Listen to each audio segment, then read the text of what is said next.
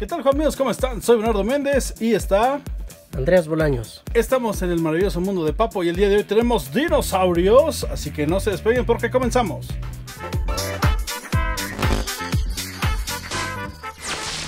Y estamos de regreso el día de hoy. Vamos a ver dinosaurios de Papo. Andreas, cuéntanos. ¿Qué tal a todos? Pues sí, como están viendo, es eh, el nuevo T-Rex 2019 que ya por fin llegó a México. Lo tenemos aquí para que puedan ver el detalle de esta pieza que ya muchos decían, bueno, ¿y cómo va a llegar? ¿Va a ser igual a la versión clásica, aquella que salió solo para Francia y Canadá? ¿O va a tener algunas diferencias? Pues bueno, la mayoría de ustedes no ha podido ver la versión aquella que salió hace varios años para Francia y Canadá. La verdad es que el color en este es un poco de mejor calidad, el otro se despintaba fácilmente, pero sí es cierto que han cambiado las tonalidades. Aquí vemos un color, una especie como de, café más claro, que es el color natural del plástico y aquí vemos que tiene una especie de, de, tonalidad un poco más rojizo. Este ya es el, el, segundo tono más los cafés y negros que tiene para hacer la pieza más realista. Algunos estaban preocupados que si se iba a perder el detalle de la pieza porque ya sabemos que es el mismo T-Rex verde no el, el, el running verde pero ahora en la tonalidad café. Y la verdad es que se ha retocado la escultura para que mantenga ese nivel de detalle. Entonces no se ha perdido el nivel de detalle se los podemos asegurar. La pieza está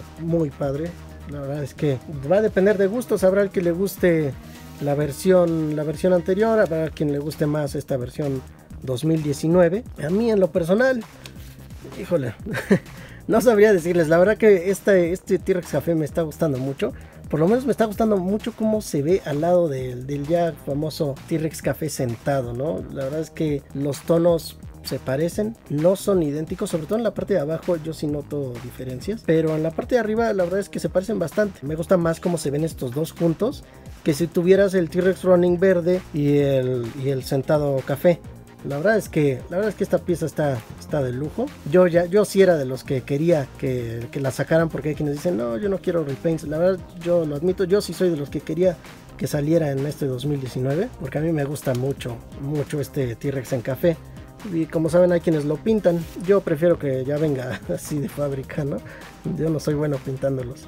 Es bueno que haya repaints porque si a ti se te fue alguna edición anterior y después sube mucho de precio, si te esperas un poquito viene otra vez repintado. Puede que lo hayan pintado mejor. A veces los, eh, en este caso, los mejoran y ahí no sale tan caro, ¿verdad? Entonces también eso funciona súper, súper, súper bien. Y como pueden ver, este, la escultura está completa. El trabajo de, este, de pintado está increíble. Lo puedes mover y no pasa nada.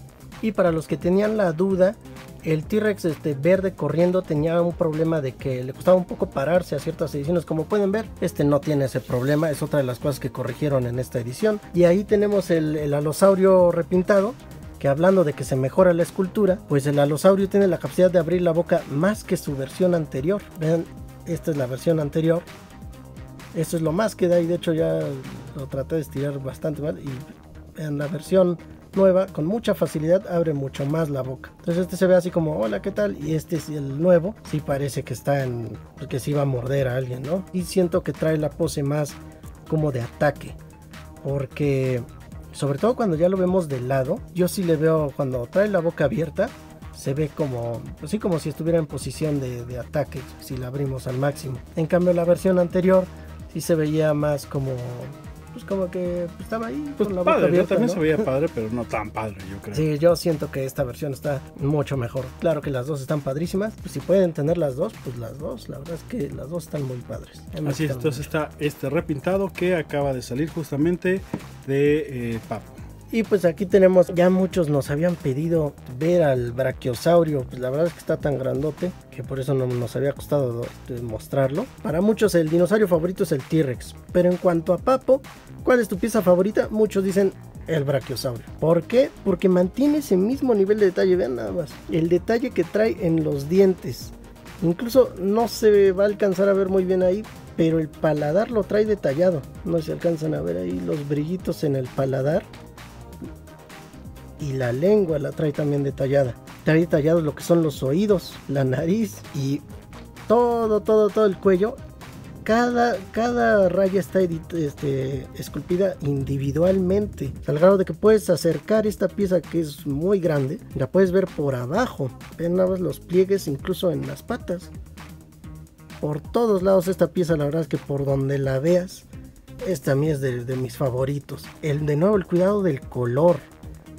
Lo, pueden notar de que son diferentes grises. Son alrededor de cuatro, si no me recuerdo. Está el gris principal, está el gris más oscuro que le da un, un tono pálido y hay un washado con un gris pálido para los brillos y incluso en algunos puntos hay un rojizo como en unas rayas no sé si lo alcanzas a ver pero aquí se ven unas rayas rojas.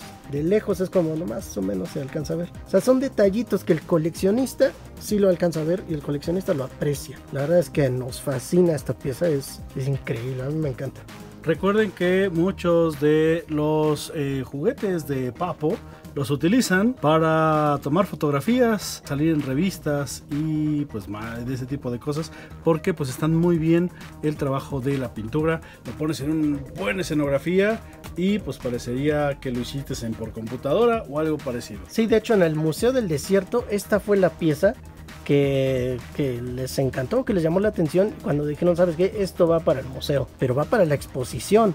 Claro que también lo pueden encontrar ahí en la tienda del museo, pero está en la exposición del museo, el brachiosaurio y otros dinosaurios, porque está padrísimo, al grado de que a los profesionales del museo los convenció para ser como material de exposición. Y además de la tienda del museo y el museo, ¿dónde pueden encontrar estos juguetes? En paladinosmexico.com o pueden simplemente buscar Papo México en Google y lo bueno es que ya hay muchos puntos de venta. Si quieres estar seguro, entra a paladinosmexico.com y ahí vas a ver todos los puntos de venta del país que ya venden la marca Papo. Así es. Y bueno, amigos, muchas gracias por acompañarnos en este programa de El maravilloso mundo de Papo.